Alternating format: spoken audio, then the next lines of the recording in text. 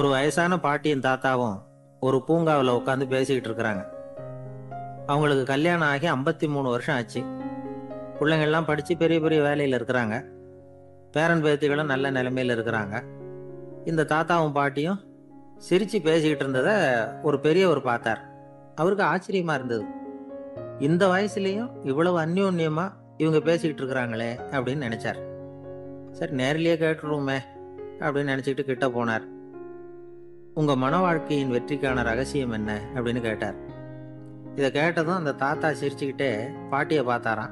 அதுக்கப்புறம் சொன்னாராம் நான் இந்த அம்மாவை கல்யாணம் பண்ணிக்கிட்டதுக்கும் எங்களுடைய இல்வாழ்க்கை இவ்வளவு நாளாக பலம் குறையாம மகிழ்ச்சியாக இருக்கிறதுக்கும் காரணம் ஒன்று தான் அது என்ன காரணம்னா எங்களுக்கு இடையில பொதுவாக நிறைய குறைகள் உண்டு. அதுதான் காரணம் அப்படின்னாராம். அவர் சொல்றது சரிதான் அப்படிங்கிறது மாதிரி அந்த பாட்டியும் அவரை நிமிந்து பார்த்தாங்களாம். இந்த பெரியவர் மறுபடியும் அந்த பாட்டியை பார்த்து அதே கேள்வியை கேட்டிருக்கார்.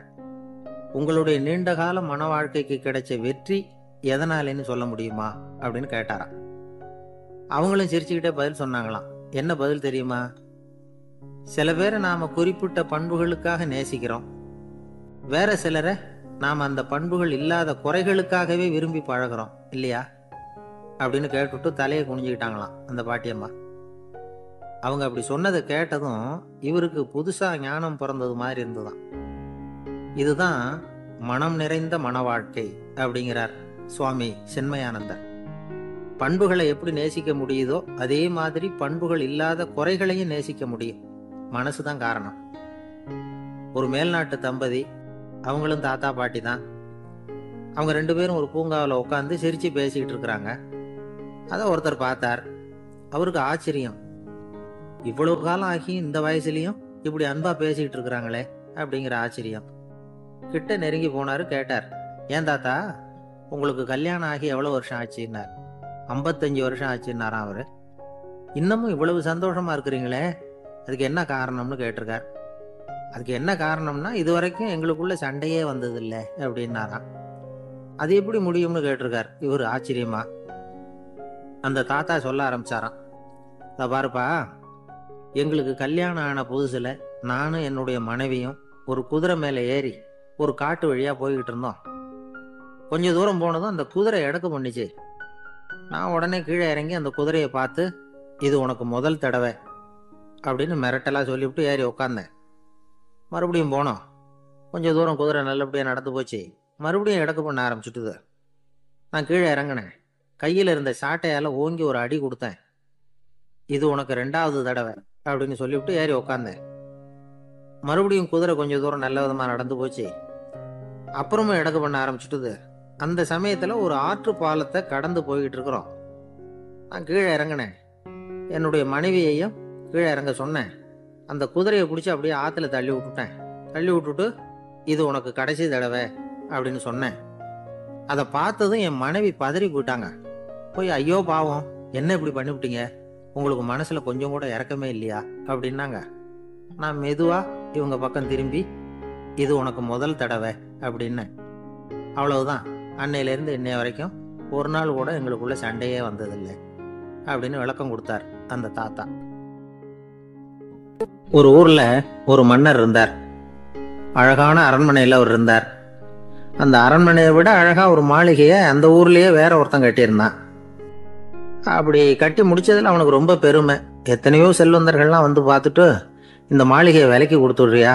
எவ்வளவு விலை சொன்னாலும் சரி நாங்கள் வாங்கிக்கிறதுக்கு தயாராக இருக்கோம். அப்படின்னு சொல்லி கேட்டு பார்த்துட்டாங்க. நான் இதை விற்கிறதுக்கு தயாராக இல்லை அப்படின்னு சொல்லிவிட்டான்.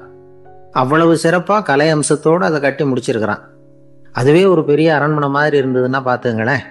சுற்றிலும் அழகான பூந்தோட்டம். ஒரு நாள் அவன் எங்கேயோ வெளியூர் போயிட்டு திரும்பி வந்துகிட்டு இருக்கிறான். அப்போது அந்த மாளிகை தீப்பெற்றி எரிஞ்சிக்கிட்டு இருக்கு. பதறி போட்டான். விலைக்கு கேட்டவங்க யாராவது இதை செஞ்சுருக்கணும்? இல்லைன்னா மன்னரே செய்த சதியோ என்னவோ? இப்படிலாம் அவனுக்கு சந்தேகம். ஒரு மூலையில் உட்காந்து அழ ஆரம்பிச்சிட்டான். அந்த சமயத்தில் அவனுடைய மகன் அங்கே ஓடி வந்தான். அப்பா அழாதீங்க. இதை நான் நேற்று ராத்திரியே நம்ம ஊர் மன்னருக்கு வித்துட்டேன். இதை கட்டி முடிக்க நமக்கு எவ்வளவு செலவாச்சோ அதை போல் மூன்று மடங்கு விலைக்கு வித்துட்டேன். கவலைப்படாதீங்க. இதை விட அழகான மாளிகையை நாம் புதுசாக கட்டிக்கலாம்னா. இதை கேட்டதும் அழுதுகிட்டு இருந்தவன் அழுகையை நிறுத்தினான் சிரிக்க ஆரம்பிச்சிட்டான். இதே இடத்த நான் வந்து மன்னர்கிட்ட இருந்து விலைக்கு வாங்குவேன். இதை விட அழகான மாளிகையை கட்டுவேன் அப்படின்னு சுற்றி நின்று எல்லார்கிட்டையும் சொல்லிக்கிட்டு இருந்தான்.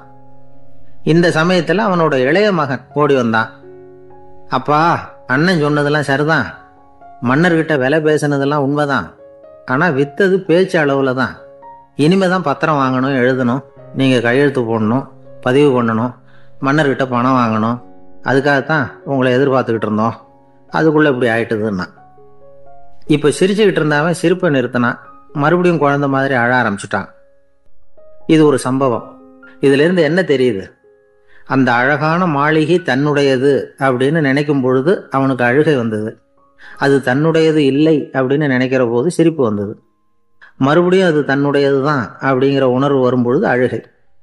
எது எதிலிருந்து நீ நீங்கி இருக்கிறாயோ அது அதிலிருந்து உனக்கு துன்பம் இல்லை அப்படிங்கிறார் திருவள்ளுவர். இந்த உடம்பு என்னுடையதில்லை அப்படிங்கிற உணர்வு வந்துட்டா அது ஒரு பெரிய நிலை. அந்த நிலை வந்து வரணும். எல்லாத்தையும் பயன்படுத்திக்கலாம் ஆனால் பற்றில் விழுந்துடக்கூடாது. உலகத்தில் இருங்கள் ஆனால் உலகத்தவராக இருக்காதீர்கள். உலகிற்குள் இருங்கள் உலகம் உங்களுக்குள் வந்துவிட அனுமதிக்காதீர்கள். விலகி இருங்கள் விழித்திருங்கள் மௌனமாய் பார்த்திருங்கள் அப்படிங்கிறது சான்றோர் கருத்து. செய்ய வேண்டிய கடமையிலிருந்து விலகி இருக்கிறவர்கள் நம்ம கிட்ட நிறைய பேர் உண்டு. அப்படிப்பட்ட ஒருத்தர் டாக்டர் கிட்ட போனார். டாக்டர் நான் ஒரு கவர்மெண்ட் ஆஃபீஸில் வேலை பார்க்குறேன். எனக்கு ஒரே அசதியாக இருக்குது என்னை சோதிச்சு பாருங்கள் ஆலோசனை சொல்லுங்கள் ஏதாவதுன்னார். டாக்டர் அவரை பரிசோதனை பண்ணி பார்த்துட்டு சொன்னார். இதை பாரு உனக்கு இப்போ தேவைப்படுறது முழு ஓய்வு. நீ எவ்வளவு சீக்கிரமா ஆபீஸுக்கு போறியோ அவ்வளவுக்கு உனக்கு நல்லது அப்படின்னு. அந்த காலத்துல எல்லாம் படிக்கிறதுங்கிறது எப்படி தெரியுமா? குருகுல வாசம் செஞ்சு படிக்கணும். ஆசிரியருங்கிறவர் ஆசிரமத்தில் இருப்பார். அங்கே போய் அவருக்கு தொண்டுகள் செய்யணும். துணிகள்லாம் துவைச்சி போடணும். தூங்கும்போது காலை பிடிச்சி விடணும். புழுக்கமாக இருந்தால் விசிறி மட்டை எடுத்து விசிறணும். அப்படியே அப்பப்போ அவர் சொல்லி கொடுக்குற பாடத்தையும் கற்றுக்கணும் அவர் சொல்லி கொடுக்குற பாடங்களை ஓலைச்சுவடிகளில் எழுதிக்கணும். இதுதான் குருகுல வாசம்ங்கிறது இப்போ மாதிரிலாம் கிடையாது. ஆக குருகுல வாசம்ங்கிறது மனசையும் பண்படுத்தும் அறிவையும் பண்படுத்தும். அப்படி ஒரு பயிற்சி அது. அந்த காலத்தில் பஞ்சபாண்டவர்கள் ஒரு குருகுலத்தில் படிக்க போனாங்களாம். ஏற்கனவே அங்கே ஒரு பதினஞ்சு பேர் இருந்திருக்கிறாங்க. இவங்களையும் சேர்த்து மொத்தம் இருபது பேர். எல்லாரும் ரொம்ப ஆர்வத்தோடு அங்கே தங்கி படிச்சுக்கிட்டு இருக்கிறாங்க. ரெண்டு வருஷம் ஓடி போச்சு. எல்லாரும் ஊருக்கு திரும்ப வேண்டிய நேரம். ஆசிரியர் ஒவ்வொருத்தராக கூப்பிட்டார். இது வரைக்கும் என்ன கற்றுக்கிட்ட அப்படின்னு கேட்டார். அவங்க அவங்க தாங்கள் எழுதி வச்சிருந்ததை சொன்னாங்க. கற்றுக்கிட்டதை சொன்னாங்க. அங்கே படிக்க வந்தவங்க எல்லாருமே புத்திசாலிகள். அது மட்டும் இல்லை பல பேர் அரச குடும்பத்தை சேர்ந்தவங்க இளவரசர்களாக வேற இருக்கிறவங்க. அதனால் அவங்கக்கிட்ட அபாரமான கல்வி அறிவை எதிர்பார்த்தார். ஒருத்தன் வந்தான். தான் எழுதி வச்சிருந்த சரித்திர பாடம் பூராவையும் படித்து காட்டினான் இன்னொருத்தன் வந்தான் தான் எழுதி வச்சிருந்த பூகோள பாடம் பூராவையும் படித்து காட்டினான் இப்படி ஒவ்வொருத்தராக வந்து அவங்க படித்தது என்னங்கிறத படித்து காட்டிவிட்டு போனாங்க. கடைசியாக தர்மர் வந்தார் பேசாமல் நிற்கிறார் தன் கையில் இருந்த ஓலைச்சுவடி கேட்டால் அவர் பிரிக்கவே இல்லை. ஆசிரியர் இவர்கிட்ட தான் அதிகமாக எதிர்பார்த்தார். ஆனால் இவரும் பேசாமல் நின்றுட்டு இருக்கிறார். நீ என்ன கற்றுக்கிட்ட சொல்லு? ஓலைச்சுவடியை பிரித்து படினார் அந்த முனிவர். தர்மர் அசையவே இல்லை. மெதுவாக சொன்னார் ஐயா நான் கற்றுக்கிட்டது ஒன்றே ஒன்று தான் அதுதான் வாழ்க்கையில் எனக்கு ரொம்ப முக்கியமான பாடமாக அமையும் அப்படின்னார். என்னது என்கிட்ட ரெண்டு வருஷ காலமாக படிச்சு விட்டு கடைசியில் கற்றுக்கிட்டது ஒன்றே ஒன்று தானா அப்படின்னார் முனிவர். அவருக்கு ஒன்றும் புரியல. மற்ற மாணவர்களை விட இவர் பண்புகளில் உயர்ந்தவர் அறிவில் சிறந்தவர் வயசில் முதிர்ந்தவர். இவரே இப்படி சொன்னால் மற்றவங்க நிலைமை என்னத்துக்கு ஆறுது? அவங்க ரொம்பவும் கெட்டு போயிடுவாங்களே? அப்படின்னு அவர் யோசனை பண்ணார். தர்மா நல்லா யோசனை பண்ணி பதில் சொல்லு. ரெண்டு வருஷமாக நீ வந்து கற்றுக்கிட்டது என்ன அப்படின்னு தானே நான் கேட்குறேன் அதை கொஞ்சம் யோசனை பண்ணி சொல்லுன்னார் முனிவர். கொஞ்சம் கோபமாக தருமர் முகத்தில் எந்த மாறுதலுமே இல்லை. இல்லையா ரெண்டு வருஷமாக நான் கற்றுக்கிட்ட முக்கியமான பாடம் ஒன்றே ஒன்று தான்னார் இப்போ அந்த முனிவருக்கு கோபம் அதிகமாக வந்துடுச்சு ஏன்ப்பா உனக்கு வெக்கமா இல்லையா? உன்னை விட வயசில் குறைஞ்சவங்க எவ்வளவு பாடம் கற்றுக்கிட்டு இருக்கிறாங்க? எவ்வளவு விரிவாக அவங்க படித்து காட்டினாங்க நீயும் கூட நிறைய குறித்து வச்சிருக்கிற போல இருக்கு. அதை ஏன் பிரித்து படிக்கக்கூடாது அப்படின்னார். ஐயா நான் சொல்கிறது உங்களுக்கு ஏமாற்றமாக இருந்தால் என்னை மன்னிக்கணும். நான் ரொம்ப முக்கியமாக கற்றுக்கிட்டு இருக்கிறது ஒன்றே ஒன்று தான் மற்ற எதையும் சொல்கிறதுக்கு விரும்பலைன்னார். மாணவர்கள்லாம் சிரிச்சுட்டாங்க. முனிவருக்கு கோபம் அளவுக்கு மீறி வந்துட்டு ஓங்கி அரைஞ்சு விட்டார் தருமரை அவர் கன்னத்தில். தருமர் கண்ணை செவந்து போட்டுது கண்கள் கலங்கி போச்சு. ஆனாலும் அவர் அமைதியை இழக்கலை. தலை குனிஞ்சு நிற்கிறார் இவருடைய புடிவாதம் முனிவருக்கு இன்னும் ஆத்திரத்தை உண்டாக்கி விட்டது. இன்னொரு கண்ணத்திலே அறிஞ்சார் எல்லாரும் பயந்து போய் அமைதியாக நின்றுட்டு இருக்கிறாங்க. முனிவர் கத்துறார். அப்படி நீ கற்றுக்கிட்ட அந்த முக்கியமான பாடம் தான் என்ன? அதையாவது சொல்லு அப்படின்னார். ஐயா அதை மட்டும் ஒரு ஓலைச்சுவடியில் தனியாக குறித்து வச்சிருக்கிறேன். இந்தாங்க இதை நீங்களே படித்து பாருங்கன்னார். தருமர் ஓலைச்சுவடியை நீட்டினார். முனிவர் அதை வாங்கி பிரித்தார் சத்தம் போட்டு படித்தார் என்ன எழுதியிருக்காருன்னா எப்படிப்பட்ட சோதனை ஏற்பட்டாலும் நிதானம் இழந்து கோபத்துக்கு ஆளாகக்கூடாது. அப்படின்னு இதுதான் அந்த ஓலைச்சுவடியில் அவர் எழுதி வச்சிருந்தது. அந்த ஒரு கணத்திலேயே முனிவரும் எல்லா மாணவர்களும் தர்மரை புரிஞ்சுக்கிட்டாங்களாம். அவர் கற்றுக்கிட்டது ஏட்டு சுரக்காய் இல்லை வாழ்க்கையில் பயன்படக்கூடிய முக்கியமான அனுபவ பாடம்.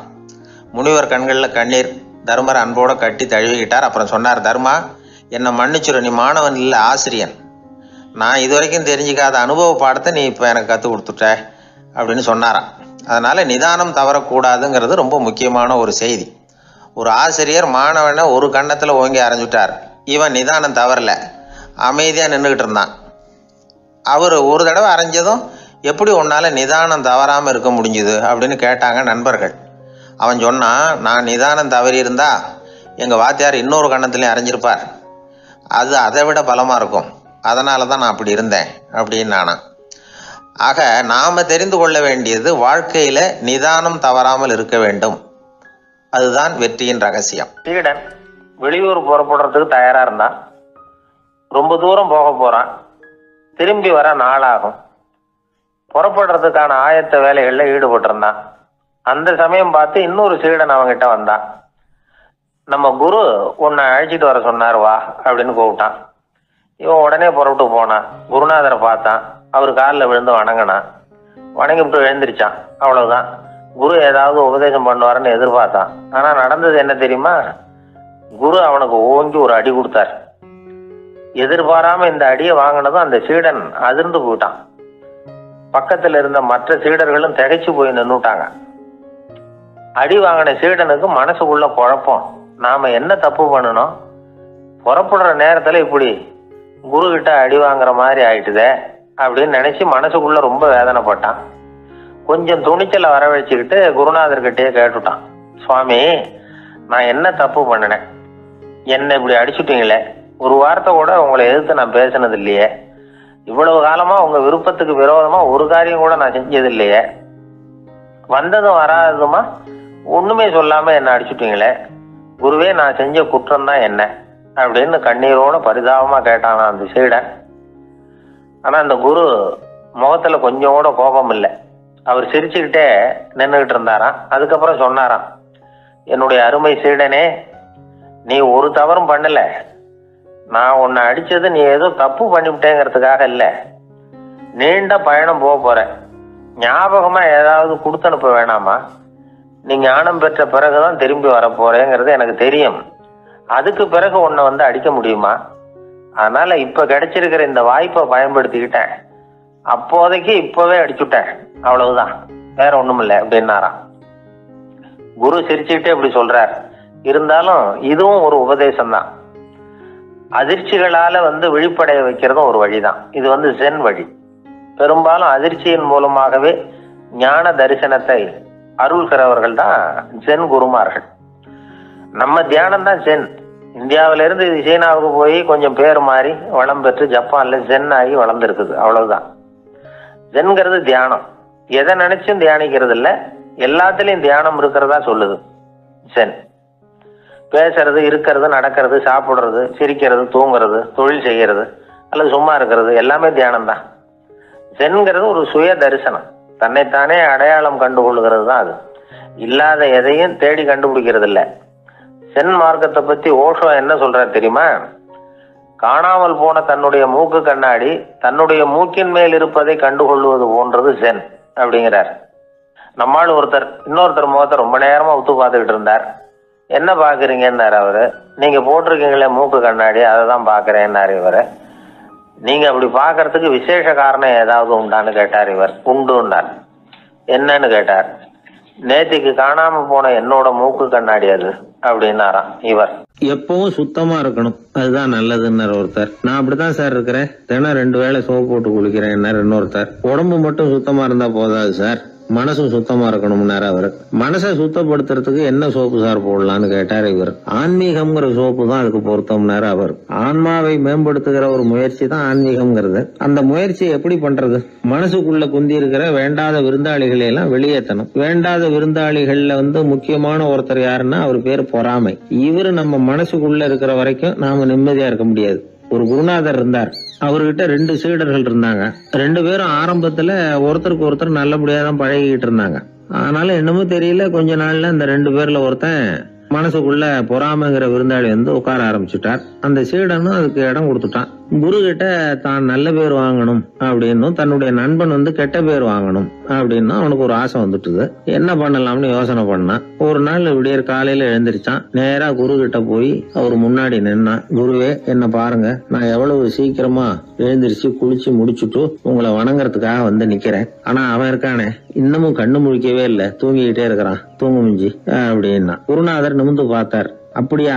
அப்படின்னா நீயும் கூட அவன மாதிரியே தூங்கி இருந்தா நல்லா இருந்திருக்குமேனார் ரொம்ப பொறுமையா. என்னது நாம எவ்வளவு தீவிரமா ஒரு விஷயத்த சொல்றோம்? அதுக்கு நம்ம குருநாதர் ரொம்ப பொறுமையா இப்படி சொல்றாரு அப்படின்னு நினைச்சான். ஆச்சரியமா அவரை பார்த்தான். குருநாதர் சொன்னார் ஆமாப்பா நீயும் தூங்கிக்கிட்டு இருந்திருந்தா அடுத்தவனை பத்தி குறை சொல்றதுக்கு இங்க வந்திருக்க வேண்டிய அவசியம் இருந்திருக்காது. அதனால அப்படி சொன்னேன் அப்படின்னாராம். சீடன் வந்து யோசிக்க ஆரம்பிச்சான். அர்த்தம் புரிஞ்சது. உடனே பொறாமைய மனசுல இருந்து தூக்கி எறிஞ்சுட்டானாம். மனசு சுத்தமாயிட்டு மனசுக்குள்ள இருந்து விரட்ட வேண்டிய இன்னொரு விருந்தாளி அவர் பேர் கோபம். சினம் வந்து தன்னையே கொண்டுடும் அப்படிங்கிறார் வள்ளுவர். கோபத்துக்கு வந்து மனசுல இடம் கொடுக்காத சில பெரியவர்களும் உண்டு. ஒருத்தர் இருந்தார்.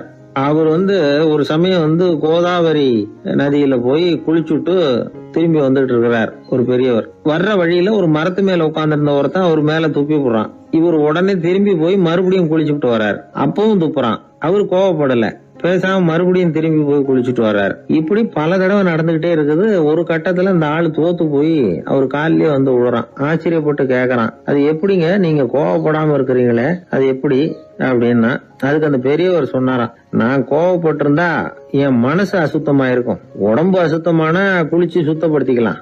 மனசை வந்து அப்படி சுத்தப்படுத்த முடியாது. அது கொஞ்சம் கஷ்டம். அப்படின்னாராம். ஆக கூடி மனசு அசுத்தமாகாம பாத்துக்க வேண்டியது நம்ம கடமை. மனசை அசுத்தப்படுத்துற இன்னொரு விஷயம் சுயநலம். ஒரு சுயநலவாதி ஆத்துல விழுந்துட்டார். சுழல்ல சிக்கிக்கிட்டார். இன்னொரு சுயநலவாதி கரையில இருந்து இதை பார்த்தார். ஒரு கயத்தை தூக்கி போட்டு அதை புடிச்சுக்க சொல்லி கரையில இழுத்து காப்பாத்தினார். அவர் கரையில ஏறின உடனே இவரை பார்த்து என்ன காப்பாத்தினதுக்காக உங்களுக்கு ஐம்பது காசு கொடுக்கலாம்னு பாக்குறேன். ஆனா என்கிட்ட ஒரு ரூபாயா இருக்கு சில்லறையா இல்ல அப்படின்னாராம். உடனே காப்பாத்தினவர் இவரை பார்த்து அப்படின்னா நீங்க இன்னொரு தடவை தண்ணியில விழுந்துருங்க. நான் காப்பாத்துறேன். ஒரு ரூபாயா கொடுத்துடலாம் அப்படின்னாராம். இப்படிப்பட்டவங்க எல்லாம் எத்தனை தடவை தண்ணியில விழுந்தாலும் மனசு சுத்தமாக போறது ஒரு சீடன் அந்த காலத்துல அஹிம்சைக்கு மரியாதை அதிகமா இருந்தது. இந்த காலத்துல வந்து இம்சைக்கு அதிக மரியாதை. ஒரு பெரியவர் இருந்தார். உண்மையை பத்தியும் சத்தியத்தை பத்தியும் நிறைய உபதேசம் எல்லாம் பண்ணார். அது பிரகாரமே நடந்தார். அவர் பின்னாடி நிறைய கூட்டம்லாம் இருந்தது. சீடர்கள் அதிகமா இருந்தாங்க. அவர் கொள்கைக்கு மரியாதை இருந்தது. ஆனா காலப்போக்கில் அந்த மரியாதை குறைஞ்சு போச்சு. அவர் பின்னாடி போன கும்பலும் குறைஞ்சு போச்சு. இது ஏன்? இப்படி ஒரு கேள்வி கேட்டார் ஒருத்தர். அதுக்கு பதில் சொல்ல வந்தார் ஒருத்தர். அவர் ஒரு கதையை சொன்னார். சீக்கிய கதை. அதாவது மகான் குருநானக் வந்து உபதேசம் பண்ணிக்கிட்டு இருந்த காலம். அவர் பின்னாடி ஏகப்பட்ட கூட்டம் போற இடமெல்லாம் மக்கள் வெள்ளம். அவர் பின்னாடியே போயிட்டு இருந்ததுதான். அவர் எந்த ஊருக்கு போனாலும் எல்லாரும் பின்னாடியே போனாங்க. இந்த கூட்டத்தையும் அவங்க கிட்ட இருக்கிற ஆர்வத்தை போனார் ஒருத்தர். அவரு குருநானக்கோட நண்பர். அவர் நேரா போய் குருநானக்க பார்த்தார். ஆகா உங்களுக்கு தான் எத்தனை ஆயிரம் சீடர்கள் அப்படின்னார்.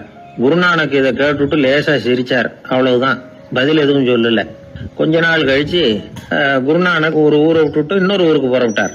ஆயிரக்கணக்கான ஜனங்கள் பின்னாடி போனாங்க. சும்மா போல குரு மகாராஜுக்கு ஜே அப்படின்னு கோஷம் போட்டுக்கிட்டே போறாங்க. ஒரு சாலை ஓரமா போய்கிட்டே இருக்கிறாங்க. திடீர்னு ஒரு இடத்துல ஆகாசத்துல இருந்து செப்பு காசுகள் மழை மாதிரி கொட்டுச்சு.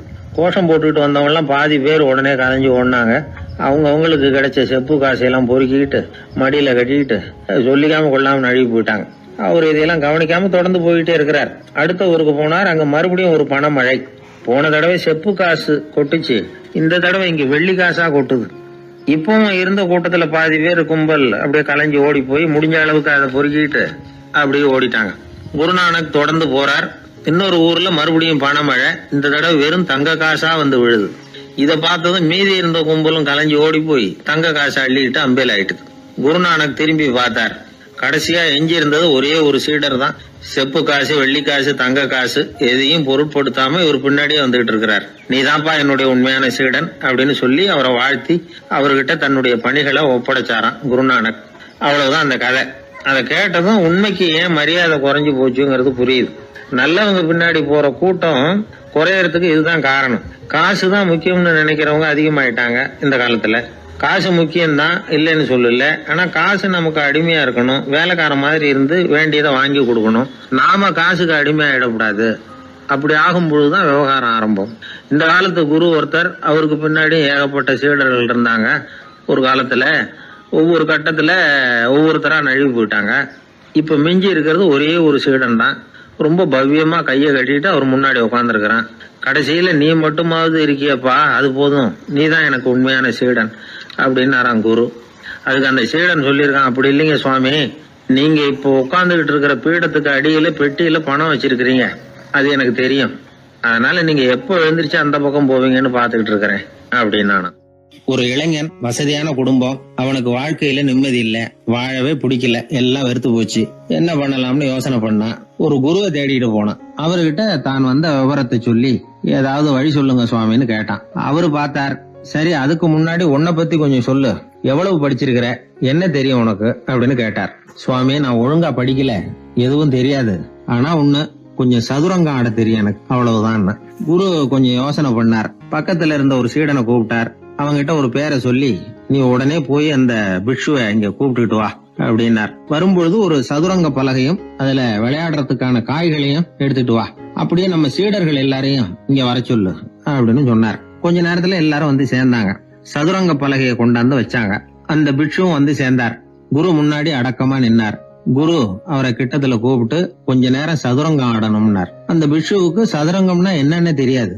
இருந்தாலும் மறுப்பு எதுவும் சொல்லல. குரு சொன்னார் பிக்ஷுவே நீர் என்னுடைய சீடர். என்னுடைய பேச்சை மறுக்காதவர். உம்முடைய அடக்கத்தையும் பணிவையும் நான் அறிவேன். எனக்காக உயிரையும் கொடுக்கறதாக சொல்லியிருக்கிறீங்க. இப்போ அதுக்கான வாய்ப்பு வந்திருக்குது. நீங்க இந்த இளைஞனோட சதுரங்கம் ஆடணும். தோத்து போனா இந்த வாளால தலையை சீவி விடுவேன். ஆனா இறந்தால் உமக்கு சொர்க்கம் நிச்சயம். நீங்கள் வெற்றி பெற்றுட்டா தோற்று போன இந்த இளைஞனின் தலையை சீவி விடுவேன். சரி இப்போ நீங்க ஆட ஆரம்பிக்கலாம்னார். ஆட்டம் ஆரம்பமாச்சு. அந்த பிக்ஷு முகத்துல சலனமே இல்ல. சாவை பத்தி கவலைப்பட்டதாவே தெரியல. எதுவும் புரியலன்னாலும் குருவின் கட்டளைங்கிறதுனால ஏதோ ஒரு காயை நகர்த்திட்டு இருந்தார். சுத்தி இருந்த சீடர்கள் முகத்துல திகில் பயம் பாவம். நம்ம பிக்ஷு நிலைமை இப்படி ஆயிட்டுதே அப்படிங்கிற கவலை. குரு கையில பெரிய வாழ் பளபளப்பா தயாரா இருக்குது. பிக்ஷு காயை நகர்த்துறது ஆரம்பத்திலேயே ஆச்சரியமா தெரிஞ்சாலும் அவருக்கு சதுரங்கம் பத்தி எதுவுமே தெரியாதுங்கிறது இளைஞனுக்கு புரிஞ்சு போச்சு. அவனுக்கு உற்சாகம் வந்துட்டது. சுறுசுறுப்பா காய்களை நகர்த்த ஆரம்பிச்சான். பிக்ஷு கொஞ்சம் கொஞ்சமா தோத்துக்கிட்டே வந்தார். சுத்தி இருக்கிற சீடர்கள் முகத்துல சொல்ல முடியாத வேதனை. இளைஞன் முகத்துல மகிழ்ச்சி. நிமிர்ந்து பார்த்தான். எதிரில இருந்த பிக்ஷுவை.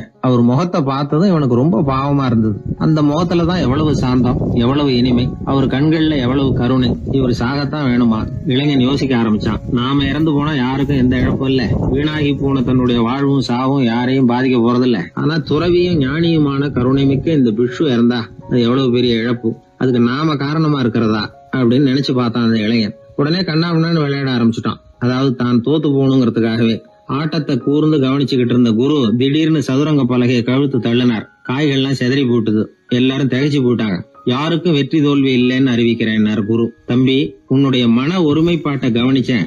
முழுமையா ஆட்டத்துல மூழ்கி போனதையும் பார்த்தேன். கடைசியில உயிர் தியாகம் பண்ண முடிவெடுத்து தாறுமாற ஆட ஆரம்பிச்சதையும் கவனிச்சேன். வாழ்க்கை என்னங்கிறதும் எந்த வாழ்க்கை பயனுள்ள வாழ்க்கைங்கிறதும் உனக்கு புரிஞ்சுட்டுது இப்ப இங்க அதை நீ கத்துக்கிட்ட. உன்னுடைய மனம் பக்குவ நிலை அடைஞ்சுட்டுது தியாகம் உன்னுடைய இதயத்துல குடி வந்துட்டுது அது எங்க இருந்தாலும் நல்லதுதான். உனக்குள்ள இருந்துதான் அந்த தியாகம் வந்திருக்கு. அதை நீ வந்து அடையாளம் கண்டுபிடிச்சுக்கிட்ட. நீ இனிமே கொஞ்ச காலம் இங்கேயே இருந்துட்டு போகலாம். உன்னுடைய வாழ்வு பயனுள்ள வாழ்வா மாறும் அப்படின்னு சொல்லி அந்த குரு ஆசீர்வாதம் பண்ணார்.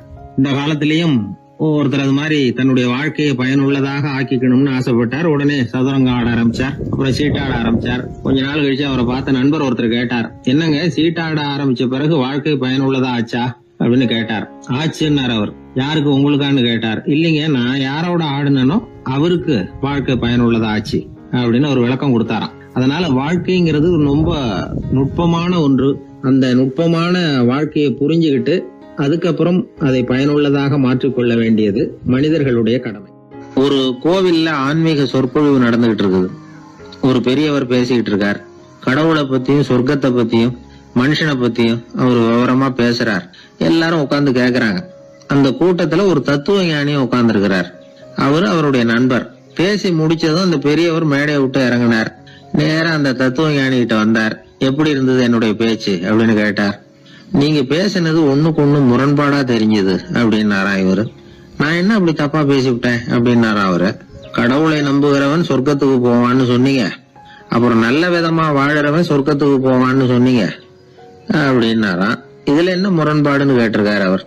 ஆஹ் இதுலதான் முரண்பாடு தெரியுது எனக்கு. அதாவது இங்க ஒருத்தன் எல்லா தப்பும் பண்ணிட்டு இருக்கிறான். அவன் வந்து கடவுளை நம்பினான்னா அவன் சொர்க்கத்துக்கு போவானா? இது என்னுடைய முதல் கேள்வி. இல்லைன்னா ஒருத்தன் வந்து எந்த தப்பும் பண்ணல ரொம்ப ஒழுங்கா வாழ்ந்துகிட்டு இருக்கிறான்.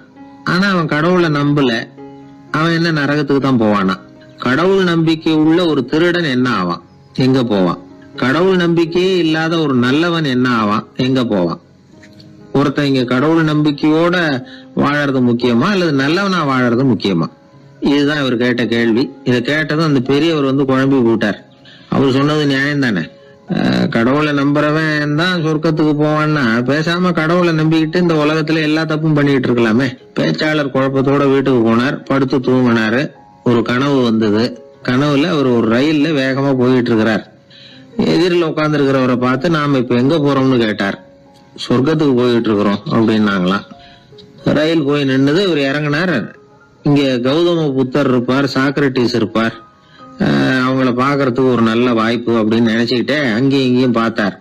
அங்க யாருமே இல்ல. ஒரே பாலைவனம் மாதிரி இருக்குது. பச்சை இல்ல பசுமை இல்ல பூக்கள் இல்ல.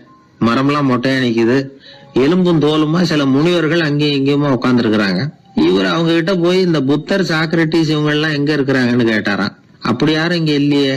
அவங்க எல்லாம் யாரு அப்படின்னு திருப்பி கேட்டிருக்கிறாங்க. இவருக்கு அதிர்ச்சியா போச்சு. அப்படின்னா அவங்க எங்க போயிருப்பாங்க? உடனே ரயில் நிலையத்துக்கு ஓடி வந்தார். அப்பதான் நரகத்துக்கு ஒரு ரயில் புறப்பட்டுக்கிட்டு இருந்தது அங்க இருந்து அதுல ஏறி உட்கார்ந்தார்.